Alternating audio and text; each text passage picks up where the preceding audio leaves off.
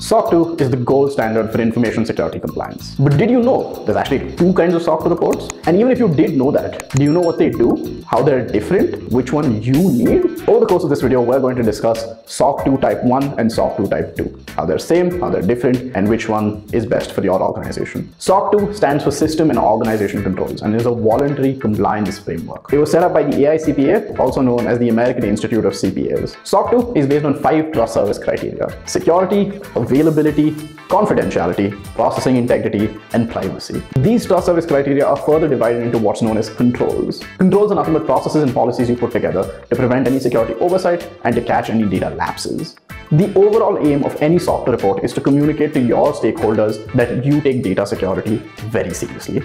That being said, it is a fully optional framework. There's no mandate that says you have to get a SOC 2 report. And finally, SOC 2 is ideal for SaaS companies that primarily operate in the North American region. With the basics covered, let's head into some details. When choosing to get SOC 2 compliant, you will have two choices, a SOC 2 Type 1 report and a SOC 2 Type 2 report. So, what is a SOC 2 Type 1 report? A SOC 2 Type 1 report details your organization's system design of internal controls. It's an assessment of your compliance posture at a point in time with sufficient proof to demonstrate how functional these controls are. SOC 2 controls can be preventive, detective, or corrective. Now, that's the kind of answer that an auditor or maybe Google likes, but that's not the kind of answer that works for everybody else. So let's give it another shot. When you're getting compliant, a company wants to know two things. One, that you have the right data security processes in place, and two, that you're following these processes that you have set up. Think of it as a burrito. Step one is having all the right ingredients in place, but step two is the ability to pull it all together to actually make the burrito. A SOC 2 Type 1 report involves an auditor coming in and seeing whether you have the right controls in place, or in this case, the ingredients.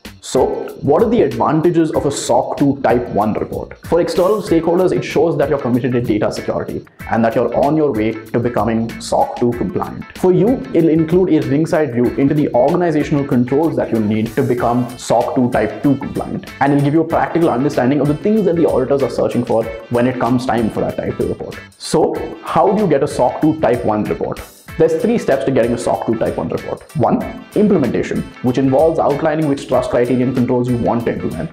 Two, readiness assessments, during which you'll review all documents and processes and work to fix any gaps. Three, selecting an auditor and getting certified, where you'll submit all the controls you've collected for review by an external party. There's links in the description if you want a more detailed insight, but that's what you need to know about a SOC 2 Type 1 report. Now, what is a SOC 2 Type 2 report? A SOC 2 Type 2 is functionally very similar to a Type 1. It's a detail of your organization's system design of internal controls to meet the requirements of the applicable trust principles. Except instead of being a point-in-time picture, it's a continuous assessment. It typically occurs over 3 to 12 months. A SOC 2 Type 2 report involves an auditor taking all the controls that you've set in place and then seeing whether you're following them. Let's take an example. Say you have an employee onboarding process set in place. You know you want them to have a work email ID, you want them to have access to like internal tools and softwares, for them to go through a background verification check, and for them to go through your company's security policy documents. These are the things you'll set up over the course of your SOC 2 Type 1 report. And during your SOC 2 Type 2 report, your auditor will see whether you actually follow these processes you set in place when you bring new employees on board. So,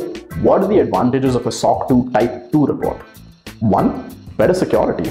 A successful SOC 2 attestation report means that you're using best-in-class policies and processes in order to secure your customer data, which in and of itself has several long-tail benefits for your business. Two, a shorter sales cycle.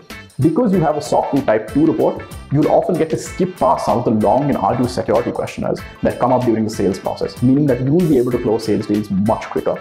A SOC 2 Type 2 report means that you have the added benefit of being able to win over deals from your non-compliant peers, giving you an extra competitive sales edge.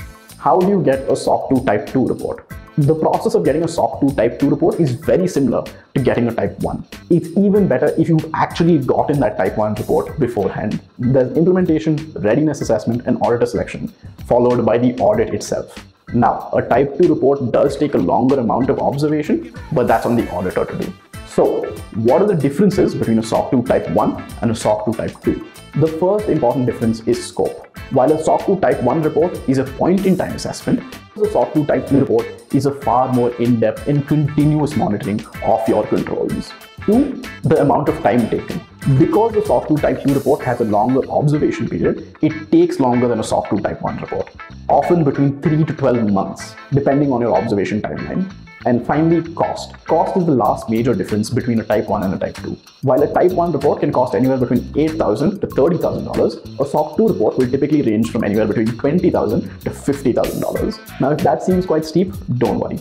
There are several ways to reduce the cost and the time required to get a SOC 2 Type 1 and a SOC 2 Type 2 report. One of the best ways to do it is by using compliance automation. By using compliance automation, you can reduce the amount of manual effort you put into the compliance process, meaning that you can get your SOC 2 Type 1 and your SOC 2 Type 2 reports far more quickly and far more affordably. By using compliance automation, you reduce the amount of manual effort required to get compliant, meaning you can get your Type 1 and Type 2 reports at much better prices and at significantly quicker timelines. How much better? By using compliance automation software like Sprinto, companies just like yours have gotten their SOC 2 Type 1 and SOC 2 Type 2 reports in as little as 4 to 6 weeks and for as little as $10,000. And if you're an early stage startup, you can apply for the Sprinto Ignite program and get even better deals on your SOC 2 Type 1 and Type 2 reports.